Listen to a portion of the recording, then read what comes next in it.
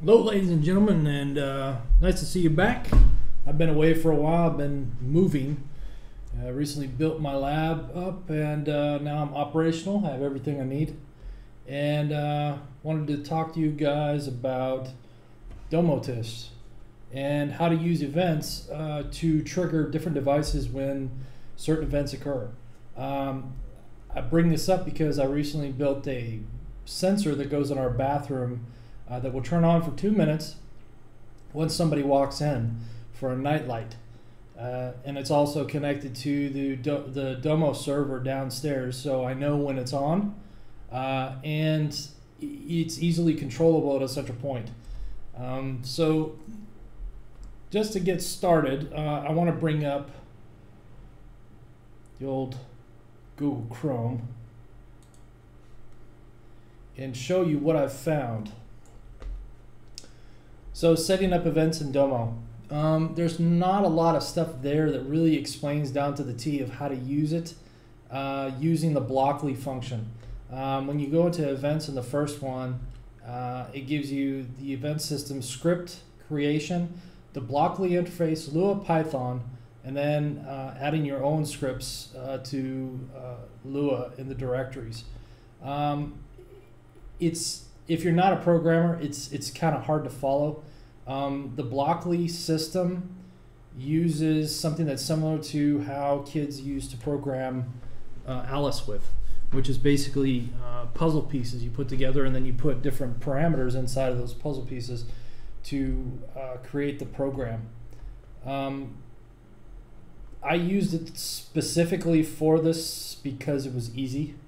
Um, and if you need to know more about the Blockly, there's a link here that shows you exactly what uh, what the Blocklys are, and it gives demos on each one of them.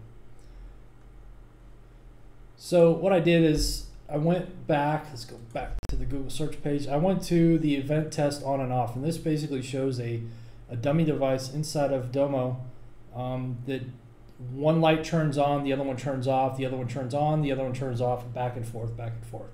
Okay, great. Mm, uh, nothing outside of that I've found on YouTube that really addresses the Blockly functionality of um, the Domo server. So what we're going to do is we're just going to we're going to go through real quick, and I'm going to show you some stuff. Um, just one thing you might want to do is, uh, and I've and I've expressed this in the past. Uh, the Domo manual is downloadable. It's 36 pages and it has a lot of stuff in there. If you really want to learn more about it, I suggest reading through it briefly just to get a good idea of what to what you might encounter when you're using uh, the, the the Domo server. Uh, as all of you might know, I'm using my Domo server on a Raspberry Pi, uh, which has been running great. Um, I've had to change some parameters due to um, bandwidth usage, but uh, it's working quite well.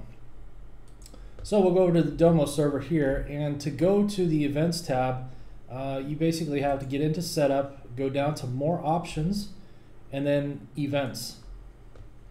Now this is a blank slate. Um, you've got different uh, sub uh, subcategories here that show you different types of puzzle pieces, if you would. Um, this is the main puzzle piece, which is basically drag and drop.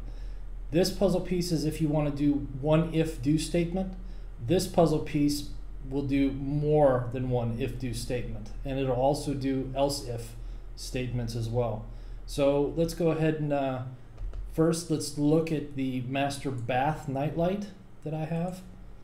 So this is a simple if do statement. Uh, it's saying if the master bath motion sensor is on, then do, which means go ahead and set the master bath nightlight to on for two minutes.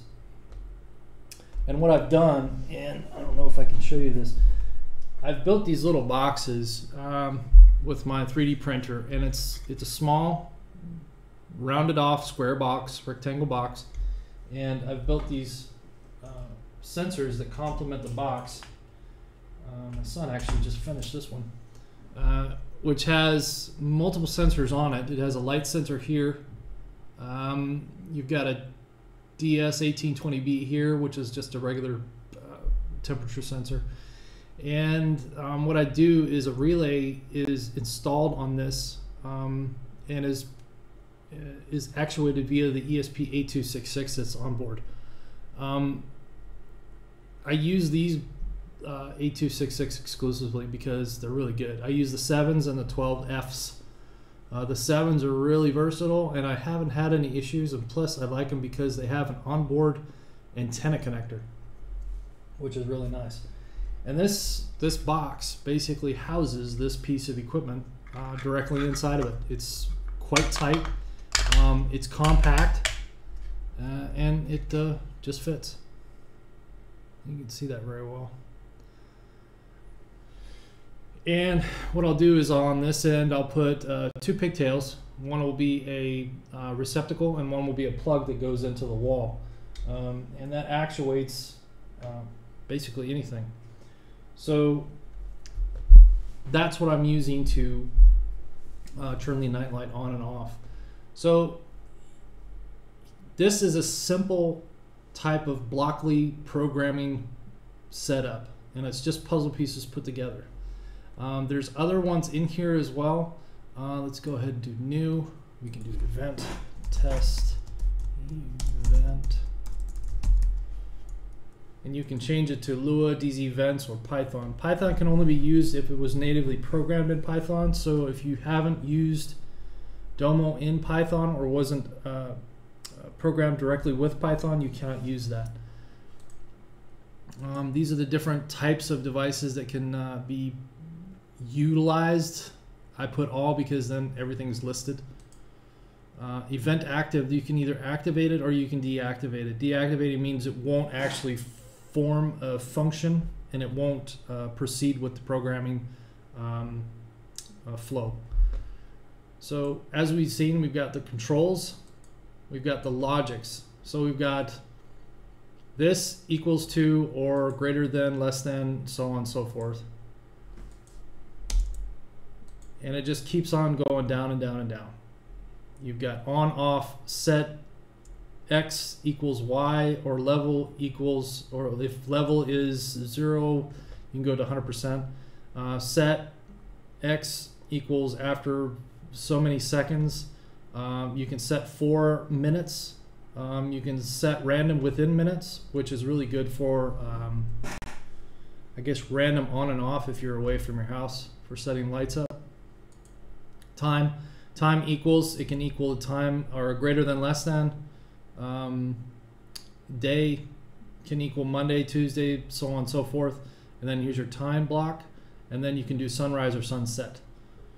In messages, you can actually set it up to where you're using the different functions inside of uh, Domo. If you go to settings, and if you go to notifications, you can do prowl, Pushbullet, push over, Clickatell SMS, um, NMA Android Pushsafer, push a lot, and then custom HTTP actions in the actual system itself.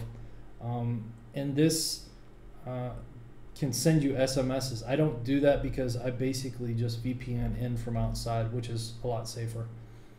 Um, so we'll go back to more options, the events.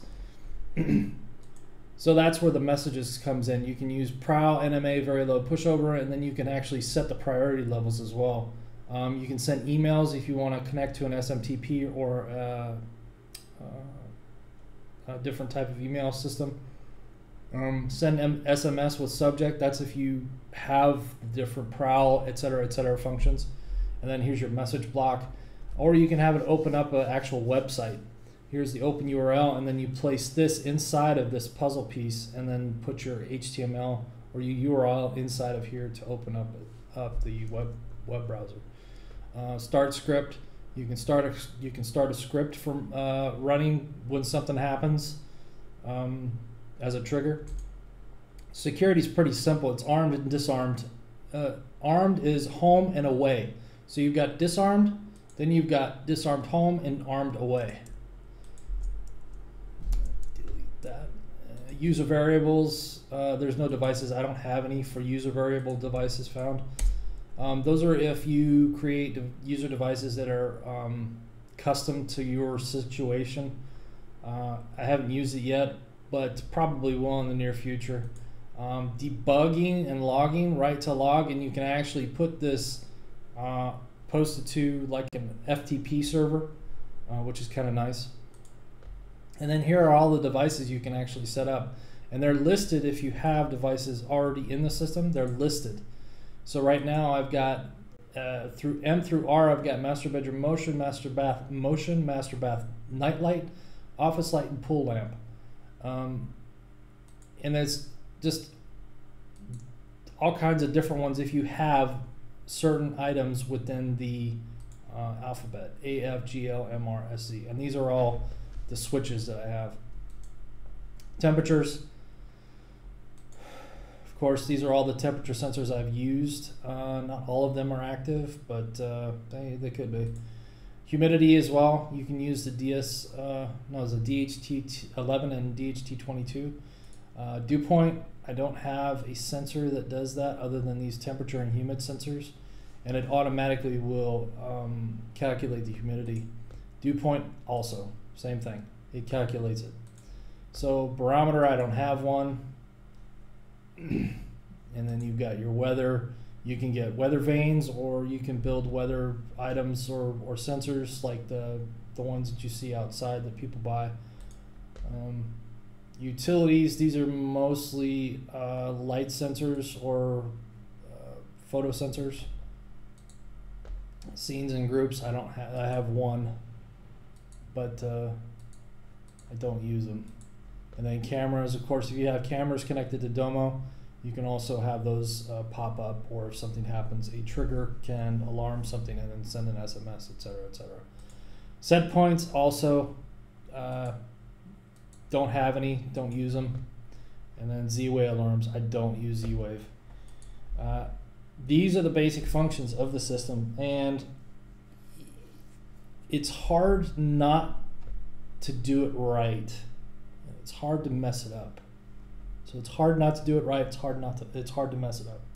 It's really really simple. It's all drag and drop.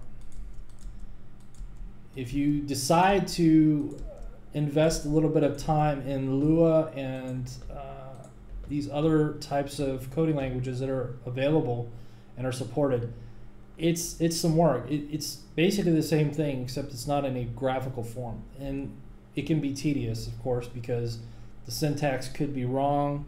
Uh, you could have problems. Uh, it's just a lot of unnecessary wasted time. Uh, that's why I suggest using the Blockly function because these are just puzzle pieces and it's a lot easier. So let me go back to my uh, saved events on the master bathroom. Now this thing actually functions. We did some testing down here before I actually put it upstairs. And what I did is I took one of these tops that we developed and I made a, a little cutout here uh, that provided uh, enough room to um, fit a PIR in it, which is now up in the bedroom and, or in the master bathroom. And what it does is, like I said, master bath motion when it equals on, which means a signal of one on digital, set the master bath nightlight on for two minutes. Uh, it's a great function. Uh, I do like it. Um, it can be tedious at times. If you do decide to build a ton of these, I do not recommend using the Raspberry Pis as the server I recommend something a little bit more uh, performance uh, based. Um, but in the meantime, if you want to use them just to test, the Raspberry Pis are perfect for them. Uh, but um, yeah, and that's uh, what else do we have to cover? Go back over here, office lamp. So that was it.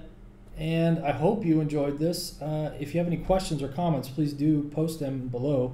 Uh, please do like my page. And if you have any questions about something that's not working on the Domo servers or anything that has to do with the ESP8266 functionality, and interfacing, please do drop me a line. I will respond now that my lab is completely set up.